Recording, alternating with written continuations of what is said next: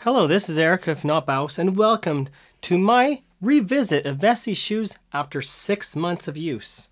So this, of course, like anything else, will be an honest re-review. If you want to see the original view, links will be in the description, and I'm going to try to pin a link in the comment as well, so you can actually see the original review. So this is after six months. So let's get started.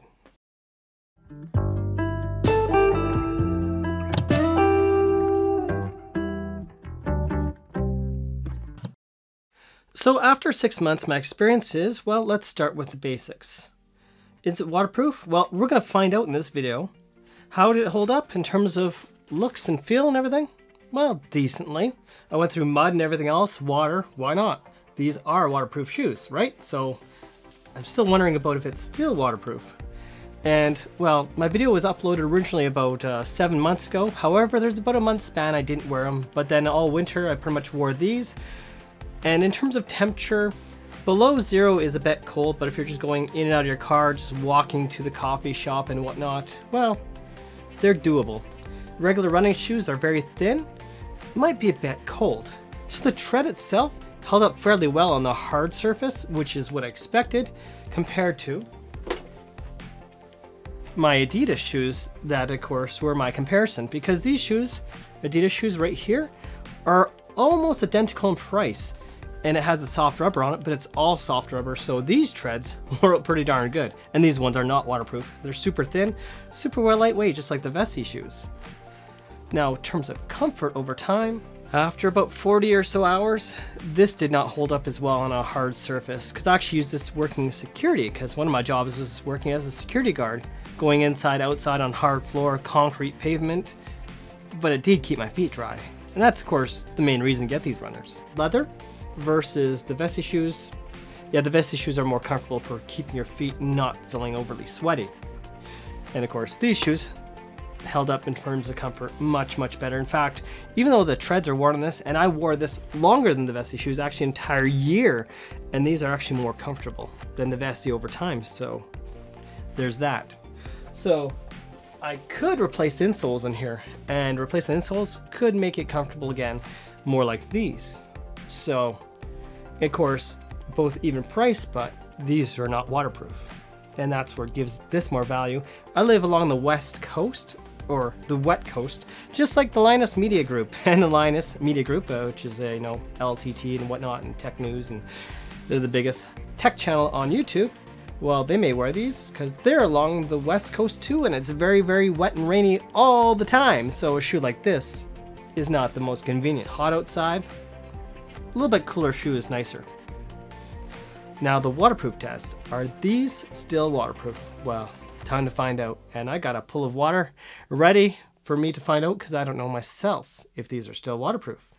So right here I have one of my Vessi shoes I'm going to wear on this foot because that's the one that's going to see on the camera.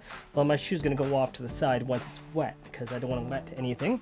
So we can see there's no watermark for my sock right now. So let's get this shoe on. So nice part, of course, is these are slip-on, which makes it easier, but of course, sometimes it could be a little bit uncomfortable around the top of the shoe. That's where, of course, the tongue of the shoe can actually be useful. And right now, just get that top lip of the shoe loose. So now, to put my foot in the water and find out if my sock gets wet, which I'm hoping it won't. But of course, I never tested for waterproofing still, if it's still good. Okay, so right now the foot's in the water. Let's move this tray back so you can see a little bit better. Okay. Uh, my foot and my, my foot of my um,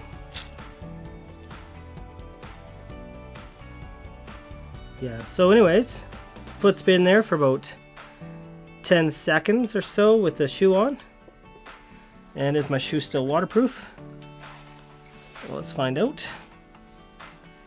And, oh, that was water that was already there. This little droplet there. But yeah, I'm happy to say this shoe lasted the test of time for waterproofing. Six months, still waterproof. So thank you, and I was actually scared my foot was gonna get wet, to be honest. So other than Vessi, are there other waterproof shoe options? Well, yes, there is. Columbia.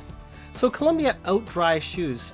The main feature of that is they're more of a hiking shoe. So if you actually want to go in rugged terrain, it'd be a lot more convenient than a Vessi shoe, which is more of a walking shoe.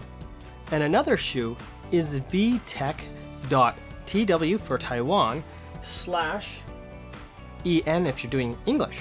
Indiegogo for a campaign, and they seem to have a little more style in terms of shoes uh, if you want something fancier. Very similar to Vessi, however, I cannot compare quality since I do not have those ones. You might also wonder about these other shoes called Tropicfeel. They're not waterproof, but you can use them in water, dry land, they won't stink from getting all wet. And of course, that's something I'll be doing a review of in a few months' time. I'm actually getting new shoes that are not out yet, so I'll have to wait a couple months, but we'll see those ones when they come out. Thank you for watching and have yourselves a most wonderful day. This is not BIOS, tech and hardware. And you might wonder what's so great about the Tropicfeel shoe. Well, for one, it actually has draining holes so water doesn't stay in the shoe should your wet, shoe get wet inside of it. Of course, the Vessi shoes have of foam, so I wouldn't see that as a great idea to get water in the shoe.